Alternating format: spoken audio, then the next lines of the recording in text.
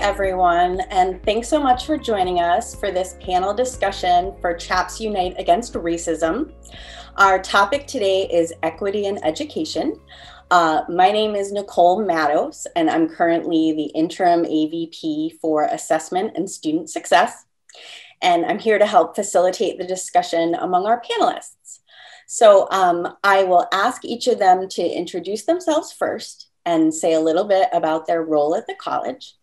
And then, you know, if they could also say something about what first got them interested in equity work in higher education. That would be a good way to get things started. So, Sunshine, you happen to be first on my uh, Zoom rotation, so I'll start with you. Hello, I'm Sunshine Ballantyne. I am a part time counselor here at the College of DuPage. Um, I guess I first got started with equity work um, even when I was in in elementary school, I always wanted to help people. I always wanted to be a school counselor. So I'm one of the few people that knew that this is what I wanted to do since I was very young. But along the way, I felt like I was very blessed to have a good support system at home, um, a good support system around my teachers, um, mentors. And I know growing up that that's not something that a lot of people had. So I kind of felt like it was my responsibility, um, having been blessed with so many good examples and good role models to look up to, to give back to other people um, and to take as much as time as I can to impart any little bit of knowledge or um, help to other students. So, thank you so much, Sunshine. Jason, you're next. Sure. Hi, everybody. My name is Jason Snart. I've been at the college for almost 20 years now, which is hard for me at least to believe. I'm a professor of English there and the chair of literature, creative writing, and film. Um, and I'm not really sure how to answer your uh, opening question, Nicole, about what got me interested in equity work. Um, I feel like the answer would be too long and rambling to even try to provide it, but I don't feel like I ever really like got interested or declared to myself that I was starting equity work. I think it's sort of been threaded through my entire teaching career. Uh, you know, in terms of thinking about teaching and learning experiences for students and making those experiences accessible and inclusive and the teaching and learning space as an equitable space. So I feel like it's kind of been part of what I've done, even if I haven't named it that per se.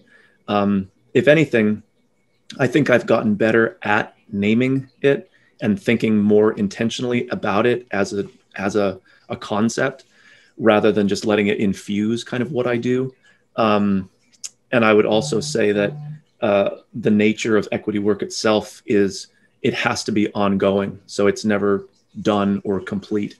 Um, so it, it feels like it's it's fresh almost every day for me, honestly. That makes a lot of sense. Thank you. Um, Diana, how about you? Well, uh, good afternoon. I am Diana de Rosario, and I serve the college as the Assistant Provost for Student Affairs. And my uh, way to answer the question, I think that I gain awareness of inequity, um, somewhat similar to what Sunshine mentioned. As a child, I knew what inequity was. But being able to do work and start addressing inequities, uh, I didn't get to do some of that work probably until I was in college through um, connecting socially through clubs and organizations, and then in my real work in higher education. And, and college for me led me to decide that I was going to work in higher education. So I think that that was kind of stepping stones of how my life has allowed for me to tackle inequity through education. Um, but we'll talk more as we go into other questions. Thank you so much. And Anthony, Yes, hi. Uh, good afternoon, everyone. My name is Anthony Ramos, and I am the uh, interim dean for our Arts, Communication, and Hospitality Division.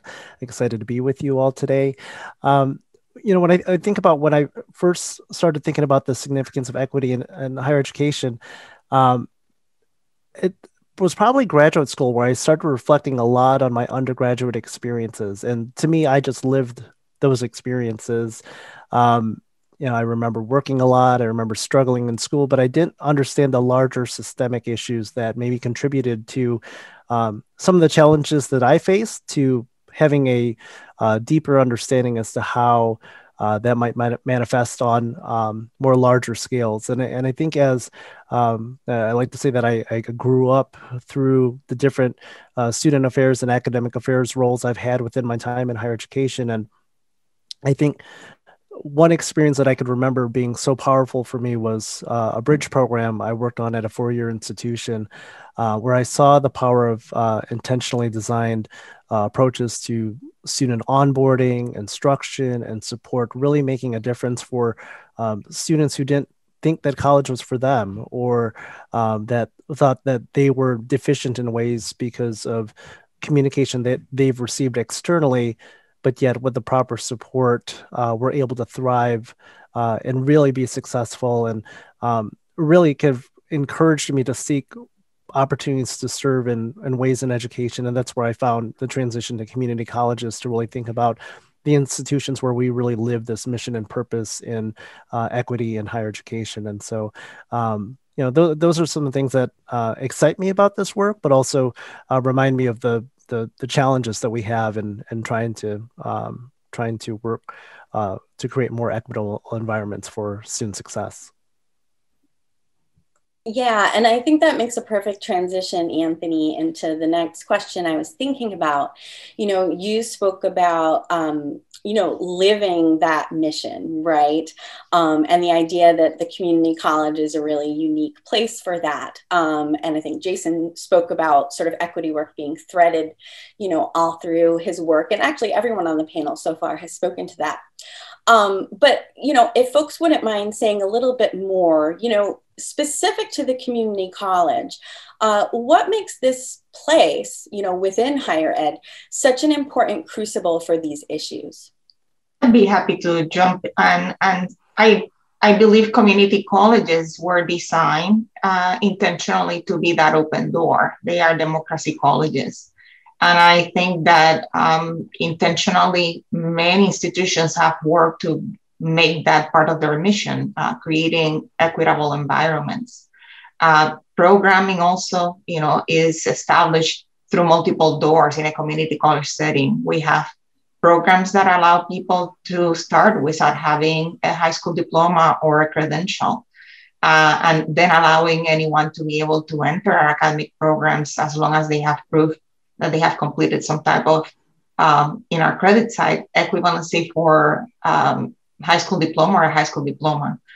So there's there's that opportunity for us to be a welcoming door and a next step to either transfer or employment. And workforce is part of our mission, and community is part of our mission. So I think that um, this is the type of environment that levels the playing field for many students who kind of make it to a four-year university. And also from a student's perspective, um, this level is either the start of it all for them or it could be the end of it all.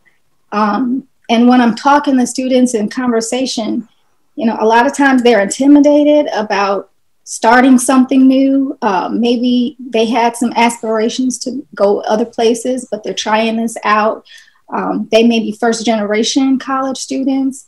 They may be um, starting a whole new career after having mm-hmm. been into the world of work. So we see so many different types of people here at College of DuPage. And, and this is where it all begins. This is where the hope for a new life, something better, starts. And, and it's such a powerful place because it can be a gateway, but it can also be a holding place or a place where those dreams end, depending on how we take advantage of the opportunities that we have. So we really need to work hard to connect those students with those resources. I um I really appreciate that thought, uh, Sunshine. You know, I think sometimes, you know, the history of community colleges has been that it can be a first chance for so many students. Um, it can sometimes be a last chance for so many students. But I think increasingly we're trying to be all the chances in between as well, you know, uh, including the idea that there is no such thing as a last chance. You know, uh, there are iterative, iterative chances. Um, that we're trying to provide. Uh, but you know, I think that's all really important to thinking about how we become, uh, as Diana said, you know, more democratic, how we serve the community, how we serve the citizenship uh, as a democratic institution. Yeah, I, I absolutely love that, Nicole, because we, we are the community's college. And perhaps that may be some of the challenge in this work is that um, we have to be responsive to the needs of so many different experiences that walk through our doors. And it, it's our responsibility to be open access and to be in service to the community whether folks are coming to us for lifelong learning for certificates transfer opportunities. There's so many ways that we are called as uh, the community college to to serve, and, I think that's the exciting part of the the work, um, but also a challenge as we think about how do we navigate um, the the equity issues because the the mission of open access on which community colleges were founded uh, is evolving uh, as uh, the the mission of success. And uh, I know there's talk about the you know uh, student success being the north star for community colleges. And that that's really what we're shooting for is to embrace what we were founded on in that open access mission.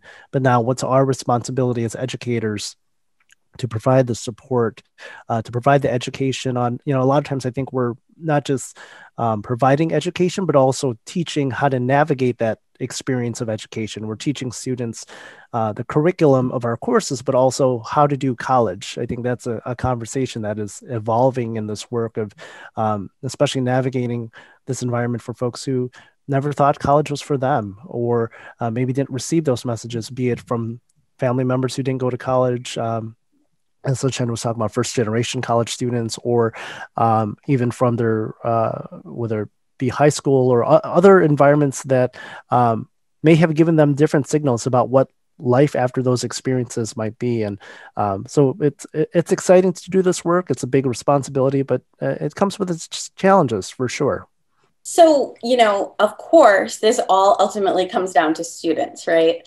Um, and so I wanted to maybe try asking, you know, uh, what do you think in terms of um, what you've heard from students, what you've experienced in your interactions with students? How are students experiencing issues of equity here at the College of DuPage?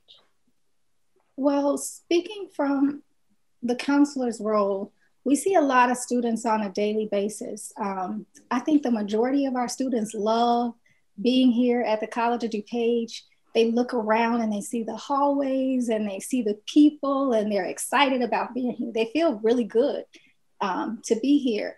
Um, but as one student was was kind of putting it to me, there are a lot of tools here at College of DuPage, but not all of them know which tools they need to use. Not all of them know where to find those tools. And even if they knew the exact person to, to have a conversation to get to where they need to go, they don't always know if they would be welcomed. Sometimes they feel like they need an introduction, a personal one on one introduction to be welcomed into that. Some of them wonder if what they say would be appropriate or, or if what they're thinking or feeling is it real or is it just in their head? Those are some of the frustrations that i hear uh, students talk about. But they don't want to seem ungrateful because they're really happy to be here. But they just want to feel invited in. They want to they want someone there who they trust to guide them along the path.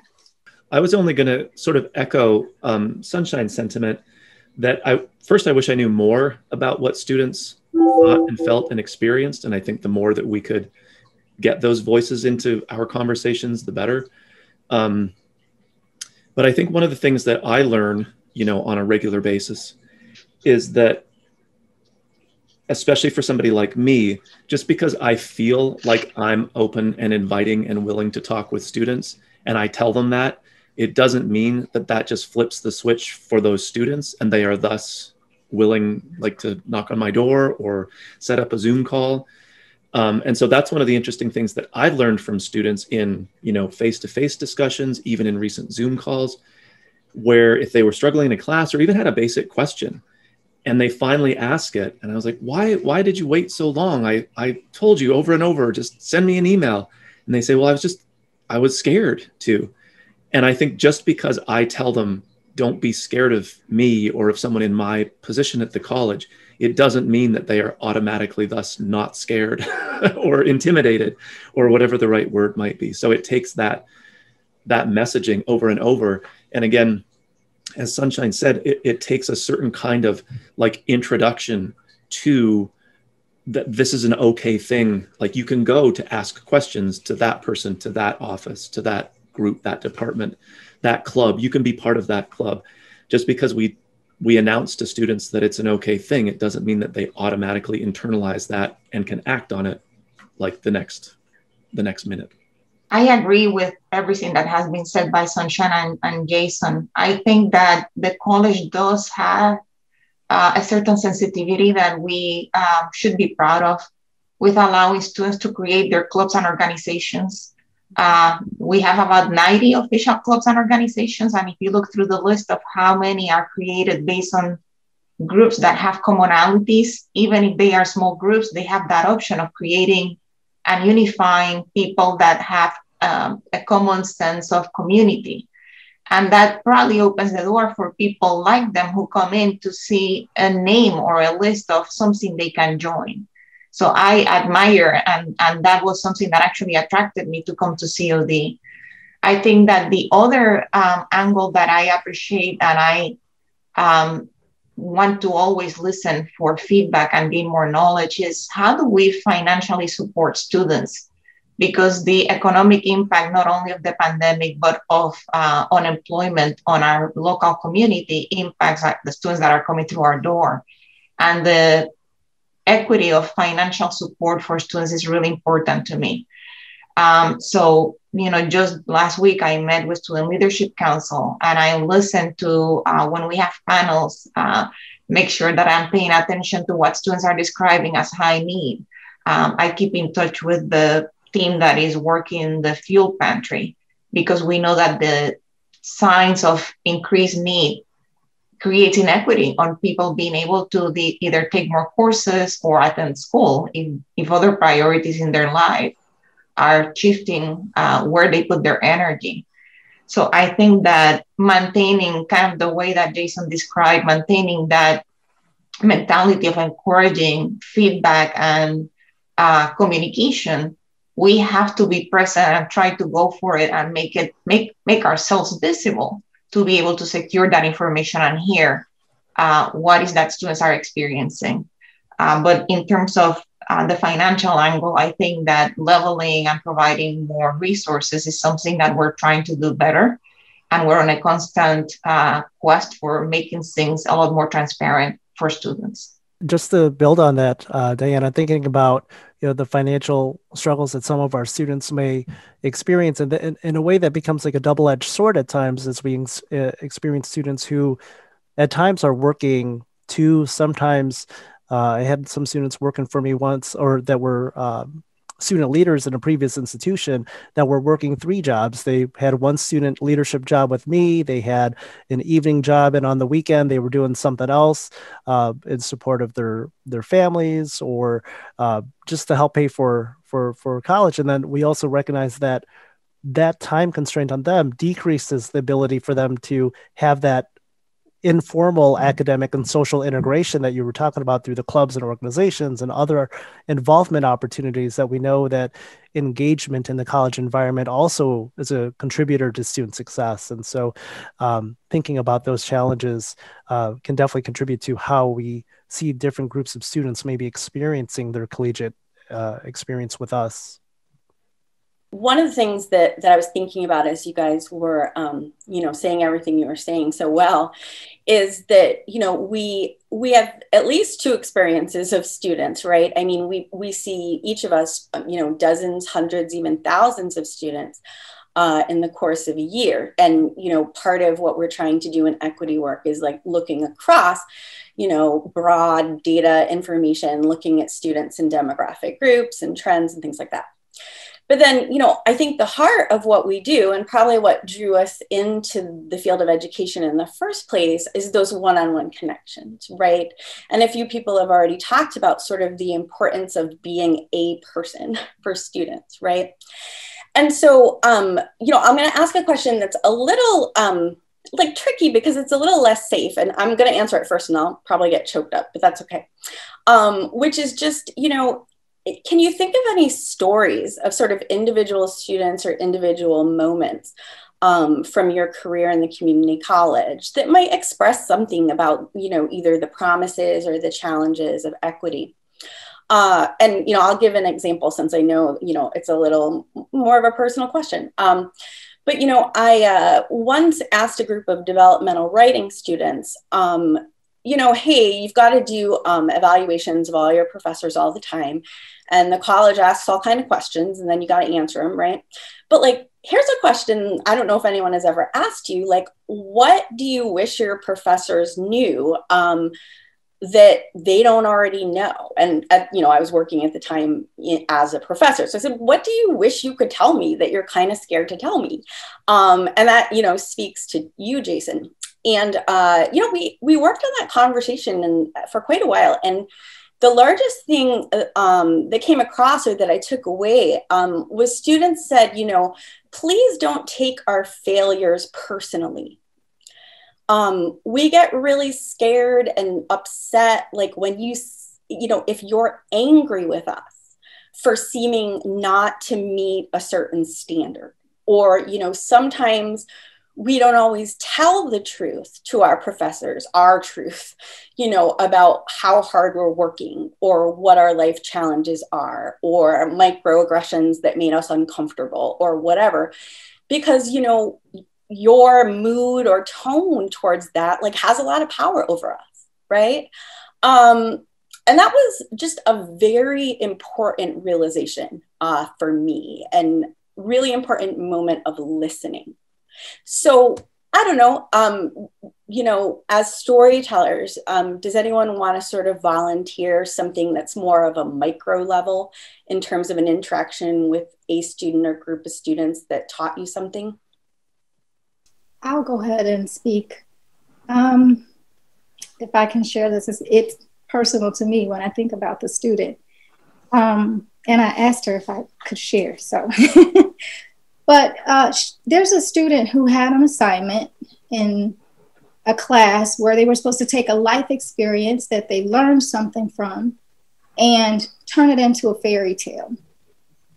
Um, this student did something that was close to them, uh, everyday thing that happened on their block um, where they live. And she was very disappointed that her writing didn't get the grade that she expected. So she had a, an appointment with the teacher, sat down. The teacher said, This is good, but it, it just really wasn't what I was expecting. It was it was far too real, um, a, a little too gritty. Um, I think you you should have held some of that back. Um, but I do think you're a good writer, so I'm going to give you an opportunity to do better. Um, you can redo the paper. So the student told me that you know she was a little disheartened, but she really wants to do well. She looks at herself as a writer and wants to do that once she finishes college. So she said, okay, well, I better figure out how to do this again. She talked to other students asked them, well, well, how were you successful? What things did you use? And she took copious notes on that. She went to the writing center and um, got feedback from them as well. And the feedback was a little harsh for her. She said that they told her she was a little too aggressive and that she needed to talk about the better things that happened and not dwell on the negative so much, have it be more positive and more upbeat. So she said, okay, I'm, I'm going to do this because I'm going to get this A on this paper. She wrote the paper with the suggestions, turned it in, and got a really good grade. And she was happy about that. But the student told me that she felt silenced and she was mm-hmm. disheartened because she said from that moment forward, she realized that if she wanted to be successful, she had to leave who she was at the door, keep pushing, and move forward.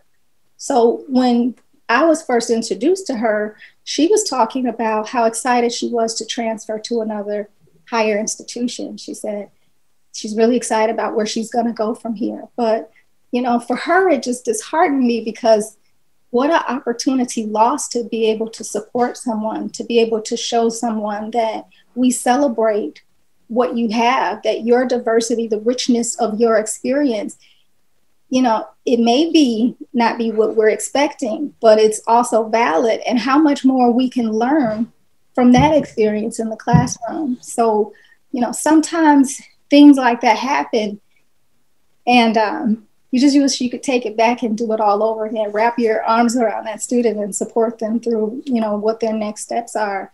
Um, but I was really glad that she was able to open up because, you know, how many students would would feel uncomfortable about sharing that?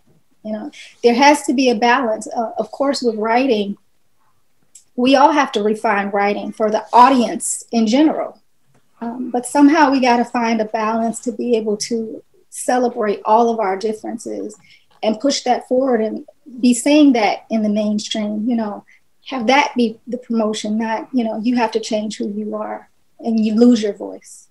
Often it comes towards the end of a semester when, you know, I've developed a rapport with students, they've been working on a project for an extended period of time, and they've been challenged to do something really difficult, and they've done it successfully and they say some version of i never knew i could do that.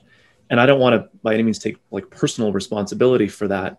Um, but i think it is part of the equity work of teaching is to design learning experiences where students can have more um, more control more say more um, input on the direction that their learning takes and the audiences that they engage with to set the bar for themselves at a place that they need to they need to reach that. It's not just doing something they already knew that they could do.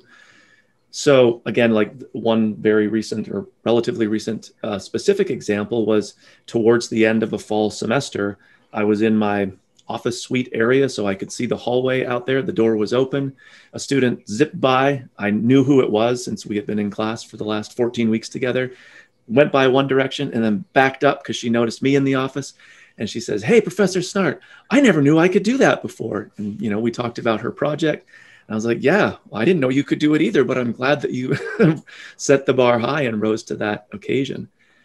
And I think, sort of, to piggyback on what Sunshine was saying with the first story, which is you know disheartening to say the least, is that the more that we can design, or what I try to foreground in my own instructional design is to make sure that the work that students are doing, like in our field, Nicole, of composition, is authentic writing and composing and engagement with authentic audiences that means something to each and every student. And part of that means that we have to um, kind of make more transparent like linguistic diversity and linguistic equity because if students are engaging with their meaningful communities whether it's their literal community, the neighborhood they live in, organizations that they're a part of, if those groups of people don't communicate with one another in in you know white mainstream English, we can't force them to code switch from that authentic engagement to then demand something else in the academy. That's sort of like that inauthentic, you must leave yourself at the door or something like that, I think is what Sunshine uh, articulated like we you can't leave that at the door. You have to bring that in and that has to be welcome. So i feel like on a very basic level like instructional design for as wonky as that term sounds that's equity work too because it invites and allows and encourages students to engage with real audiences and use their communication tools uh, in a in a more linguistically diverse way. And then they race by your your doorway and say, "Hey, I never knew I could do that." like, "Yeah, that's pretty cool." Absolutely, yeah. And you know, I I like that you started to segue into questions of instructional design. Um, and also, you know, the question of paradigm shifts, right? Like, what are the paradigm shifts um, in higher education, in disciplinary fields, in different people's institutional roles? um, that have been most effective and most important in, in helping further the cause of equity. Um, so I thought I might call on a couple people just to talk about individual roles. Um, so Anthony, um, your role right now, for example, is in administration as a dean, specifically right now, uh, fine arts and hospitality, and I'm forgetting the other one. So jump in, jump in with that one before I mess it up. Yeah, arts, uh, arts, communication, and hospitality. Sorry, communication. You can send me angry emails later. My apologies. uh, but Anthony, you know, I think sometimes, you know, the role of a dean is one that, at least in popular culture, is frequently misunderstood. Um, I'm always amused when I watch um, television shows that sort of posit deans in in sort of bizarre ways like either you know weird buffoons or mean principals or i'm not sure exactly what like accountants i don't know.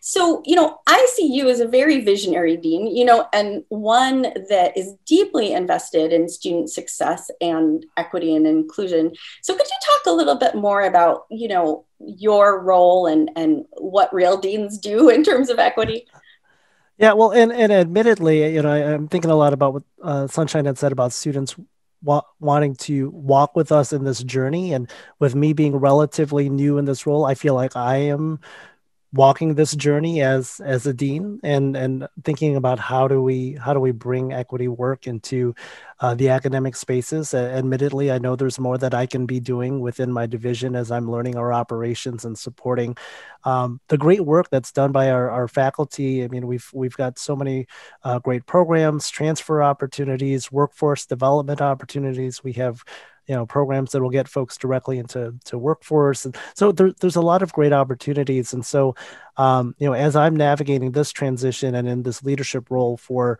uh, for the college within my areas of responsibility you know I, I I, you know can start with kind of the the, the basic things of um, you know looking for professional development opportunities and and supporting that when my faculty uh, you know come to me and say hey there's this uh, thing on pedagogy within my particular discipline. And I think that's the exciting thing uh, with where I, I'm at that we have so many varied disciplines within our division that what equity work looks like within the industry of fashion studies uh, could look very different in terms of how uh, they're approaching concepts of equity within uh, the arts program or in theater or in um, interior design. And so I, I think there's a, a, lot of opportunities to support that work. And, um, you know, as I think of uh, opportunities or things that I might look to do in the future would be to create opportunities to engage in this in this conversation within uh, the leadership of the division with the department and, and program chairs and to think about how to do that more widely within the division.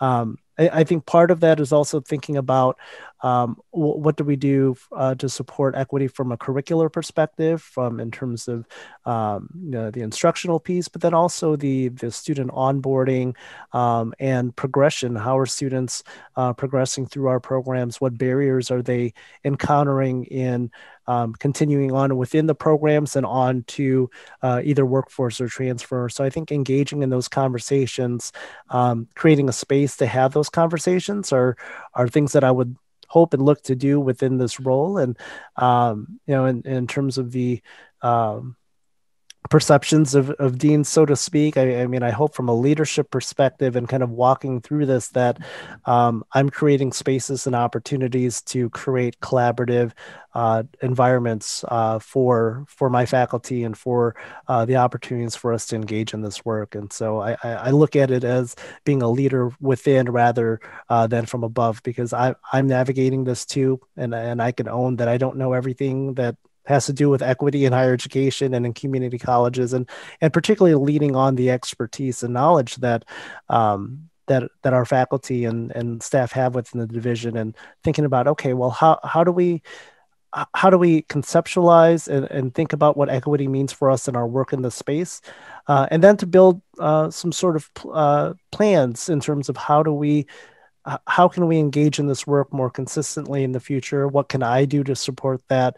Um, and what what might be the opportunities moving forward for us as a as a division of the college, and and particularly in, in the arts and communication and hospitality fields uh, within the academic world, the uh, the industries that our our students are looking to becoming a part of. Um, you know, there's there's a lot of great conversation that are happening within professional organizations, academic organizations that um, some of our faculty are bringing back to me. Like this conversation is happening in our professional group. Here's some things that we might bring that translate that to the classroom or here's how that might translate to how we're doing um, you know looking for four-year transfer opportunities that are affordable for our students and uh, maybe there's scholarships and other things that might be related to um, these initiatives. And so there's there's a lot of uh, I think there's a lot of opportunity and sometimes at, at this level it can feel overwhelming in terms of there's so much need and uh, for for attention to this work. And where where do you think you can put your emphasis to have the greatest return and impact on students.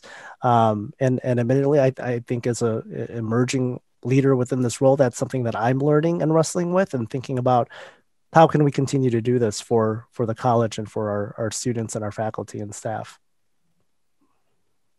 Well, that idea of being leaders and servant leaders, right, has come up a few times. And then also being like together accompaniers guides um, friends you know i mean i think all of those things uh, are sort of in the mix right as we kind of cycle through our different roles um, Diana, I wanted to ask you a similar question. So, you know, as the assistant provost uh, with authority over uh, student services broadly, um, can you speak a little bit to what you know is specific to your role and what paradigm shifts you know maybe have excited you um, in terms of equity? It is um, equity from a um, strategic or scalable uh, perspective you know institution wide is always something that is um, hard to implement because one size doesn't fit all. And i think that uh, many institutions have dedicated mentoring programs and activities that sometimes are capable of supporting a specific population or a small group of students. But we want to make sure that that is not uh, the only option.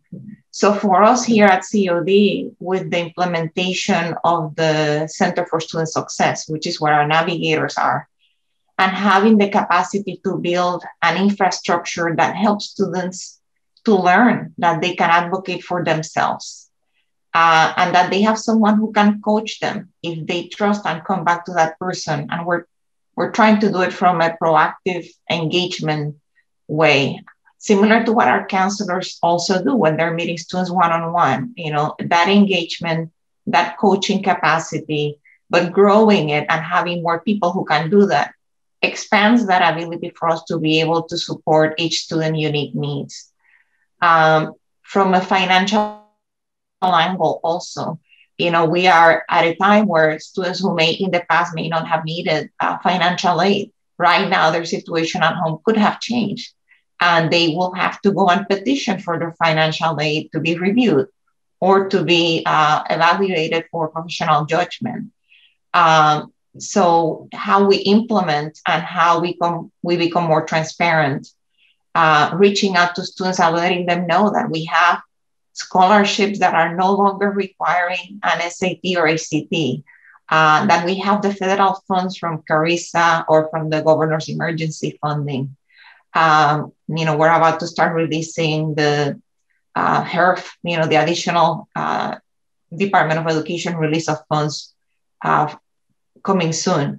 So planning on how we make that very transparent and very uh, accessible for all students to come through and feel that they can secure funding without being intimidated. Um, so how we communicate, how we word it, where do we position the information, being strategic about using every possible way of communicating via, you know, via email, via social media, um, is important. So I think from that perspective, in, in roles like mine, is how do we utilize all possible um, communication tools or possible strategies to reach as many of our students.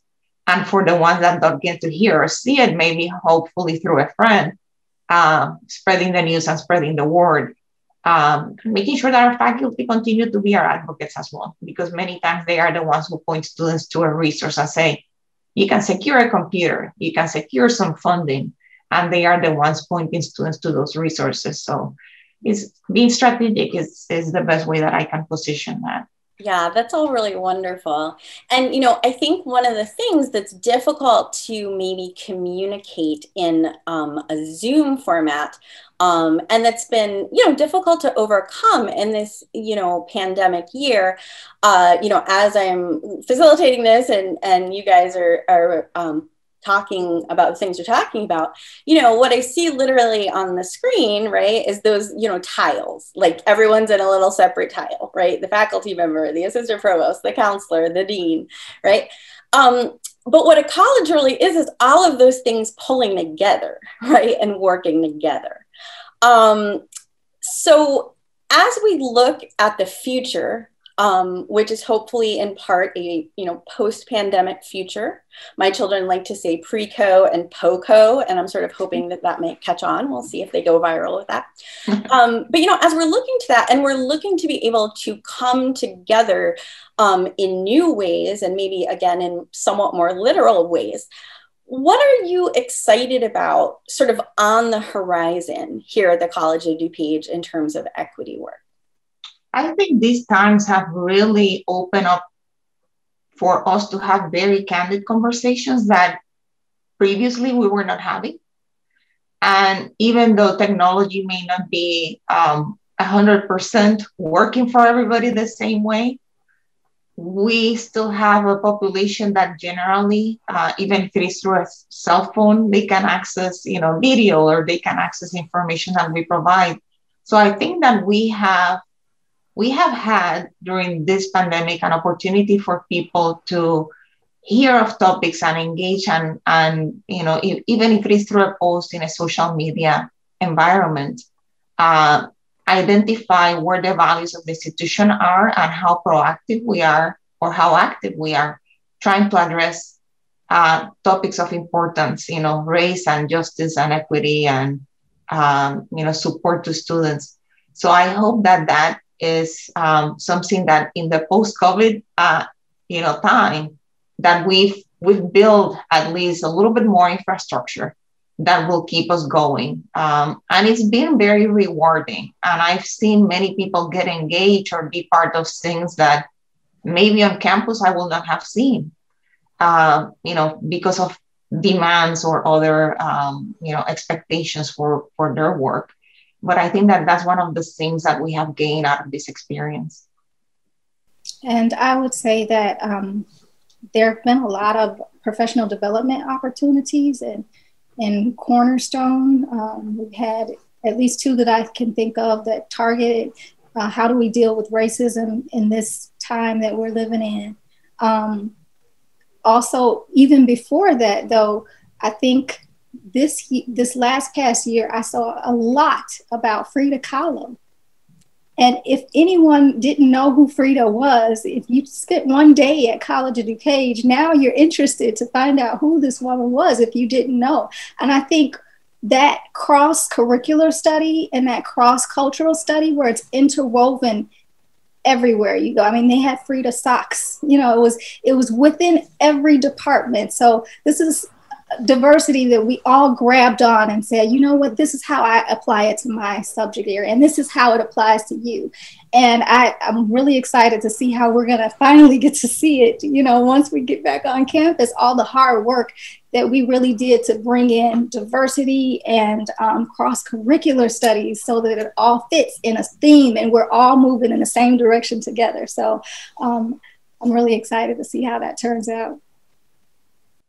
I'll echo that. I I think there's a lot of momentum that we're building, um, and, and, I think you know we, we've heard in higher education there's the concept of initiative fatigue, and uh, where this I feel is becoming a part of our our our operational and our our values culture um, this this importance of uh, equity, diversity, inclusion in our work. It's it's challenging us to really live up to the mission of community colleges, to to live up to who uh, our community needs us to be, who our students need need us to be, and um, you know, th- this is something that is impacting um, a lot of deeper and, and hard conversations uh, across campus because it, it's forcing us to look into the mirror. It's forcing us to think about uh, who we are as an institution, what we value, who we serve, and and how we can challenge ourselves. Uh, to continue to do the good things that we've been doing and to improve upon the areas of of, of gaps and, and outcomes. Uh, it, it's forcing a lot of those conversations that uh, we can't just walk away from. Uh, and, and so I think I, am excited to see um, some of the, the work that we're doing uh, translate into cultural and institutional change um, for for the betterment of, of who we are for our community. So that, that that's really what what excites me uh, in this, and um, and it's it's happening. You can feel it that things that have started perhaps in initial conversations and uh, small committees are now becoming truly campus wide, and it's uh, it's exciting. It's absolutely exciting to see. So you know, if you could say sort of one thing out there uh, to the community that's listening, to the students that are listening, um, what would you say? I think my message um, would be that this is work that we all have to do as a community. Uh, every voice counts. Um, equity can be identified as something that you know a study group could build equity you know students getting together and supporting a student who may have come with less preparation and lifting that particular friend or student to you know people like jason helping students become their own advocates or advocating for others to um, any of us empowering students and I think it it it's something that can be built. Um, and you know, speaking about values and, and mission, I think it's something that we want to continue to convey for our departments to also integrate. Um, today, I had the opportunity to hear from uh, one of our teams in the equity team that developed a whole um, departmental level uh, infrastructure and plan for themselves to be able to work on equity and their own learning. So we all can can do, and we all can act on it and and put a plan together uh, to build it at whatever level it could be. So I think that that would be my um, recommendation. I don't really have anything off the top of my head for like a message to students. Um, I would leave that to better messengers than than myself outside of my you know day to day class or classroom work. But I feel like my answer to both like two questions ago and a question ago, and maybe even as a concluding thought from my perspective, the teaching and learning kind of instructional design perspective, is that what I think many people have experienced as part of the COVID moment where so much went remote, even though, even if you're synchronous, like real time discussions, but it's not face to face. The role of the learning management system, which at COD is Blackboard, um, has become, I think, more and more um, uh, obvious for both teachers and students as the kind of like digital platform that mediates how teachers connect with students, how students connect with teachers, how students connect with each other and course content and course work. And I feel like the disciplinary shift or paradigm shift that's really been happening in composition studies or uh, online writing instruction is that people are becoming more and more aware and thus becoming more intentional about themselves as teacher, as as web designer, thinking of the student as um, their end user in this sort of like um, the questions about are we designing our teaching learning experiences as mediated through uh, a learning management system? Are we designing with the user experience in mind and I think the sort of like intersection now is that idea of designing for learning, teaching and learning experiences, but also are we designing for equitable teaching and learning experience, whether it's course or not course design, but assignment design, but also just basic like course navigation. Is it easy? Is it intuitive? And if it's not, like, are you asking your students actively, is my course easy to navigate or are you having trouble? You know that's a fairly easy easy easy question to ask and pretty actionable um, feedback you're likely to get and again, to like map equity onto that, it, it truthfully is equity work.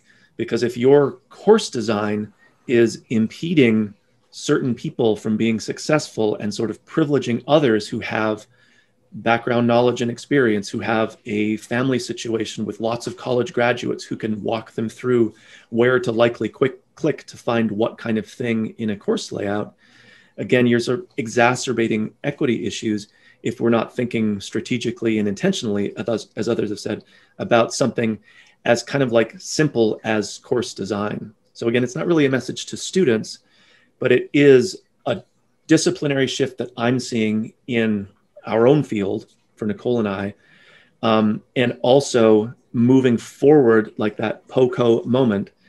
Um, do we do we retain the sense that we can do equity work in the very basic like click click nuts and bolts work of designing courses or learning experiences using the LMS for students. Any last thoughts? Well, um, when I was having conversations with some of my students and I told them about this session too, um, one thing that they asked me, they said, Miss Ballantyne, you know, is this going to be something that we just talk about? Or is this going to be something that we actually do? Because we don't want to talk about it and not do anything. So I told each of those students that I'm going to dedicate myself to it, uh, open myself to have uh, conversations with whoever I can about the, the voice that the students have. Um, and I'm going to be available to you if you need me. Um, there are ways that that you can get in contact with me even if our schedule is, is full. So um, I definitely reaffirm my commitment to them, but I would like students to um, reaffirm their commitment to share this voice because everyone is an individual and what experience you have might be different than another. We won't know how we can make it better for you if you don't take us there and show show us. You know, so reach out to us and say, you know what, Miss Ballantyne, you committed to me. You said you were going to help. So now here I am. Tell me what's my next step? You know, what do I do next? So I would just like students to commit as well so we can go on this journey together. And I, and, and I would say to to that in terms of our, our commitment and any messaging to the students and community is that we are we are your college. And I, I, I hope that um, you know what you know we strive to is whether we're your first choice or second third fourth further down the list that at the end of the day that we're your best choice and that we're, we're committed to uh, to your success and, and your support uh, to support you here. And um, and that we can be challenged as well that we are your your community's college. And if if there's ways that we are not serving the community that that's for us to hear and for us to really think about. Um, that that I welcome you know that that challenge as well is is are there things that um, you know and, and that's where the input from the community is is significant in terms of thinking how are we how, how are we in partnership with community organizations? How are we partnership with our our local high schools? How are we uh, in partnership with local workforce uh, boards and organizations? Um, there, there's there's so much that we're called to do in this work and um, that uh, I believe that that is welcomed because that that that's our role. And so um, but at the end of the day uh, you know it's it's our role to to be in service in this work. Wonderful. Well thank you so much all of you for having this conversation and for pressing this conversation towards action. Um, really appreciate it and thanks so much